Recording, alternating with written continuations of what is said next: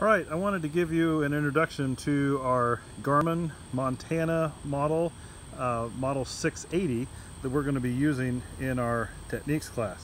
This is actually made to hold kind of horizontally like this, and it's got a touch screen, and so there's basically on this home page, there's two screens that we can go back and forth with the arrows here. That's the second screen, and back to the first screen. So I just wanted to show you a few things on the screen. First of all, it already has our current location right here. And this is in UTM coordinates.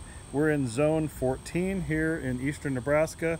The top number is the easting, the 0697155. That's how many meters east of the western edge of zone 14, essentially. The bottom number is the northing, and this is how many meters north of the, literally how many meters north of the equator. So we're 4,519,418 meters north of the equator. So easting on the top, northing is the large number on the bottom. Um, it tells us our battery strength up there, and it also gives us the time of day. Now, if you wanted to see the satellite spread that you're currently using to get that location. That screen also will tell you your current location and it will show you the spread of satellites to the north and south. Now that doesn't change, so I'm actually to like to align this with north and south here, I would actually need to shift my thing. It always gives you north at the top.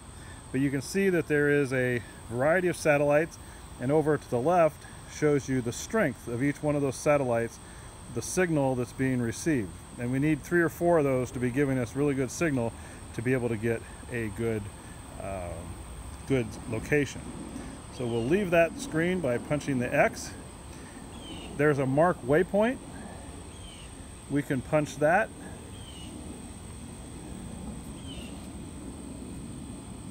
If we wanted to mark a location, it would mark it as location number one and we can just simply say save okay?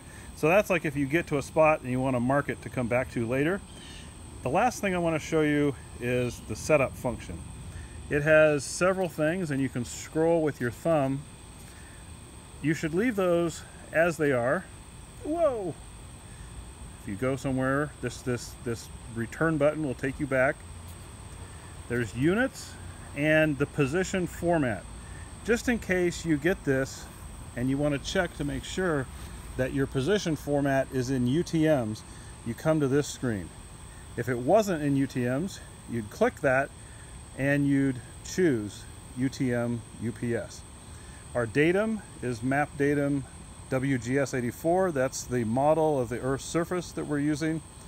And same thing with the map spheroid. So those are models of the Earth's surface, and this WGS84 is a pretty common model that of the Earth's surface that we'll use. All right, so those are the main features that will get us started, and you can at least tell where you are as soon as you turn on this unit. It gives you your locations. You can literally start walking north or south, and those numbers will change. So you don't even have to use a waypoint to find a location that I've given you for your assignment in class. You can just walk and until uh, those numbers get close to where uh, the, the to, to being right on top of what the waypoints are that I gave you for class.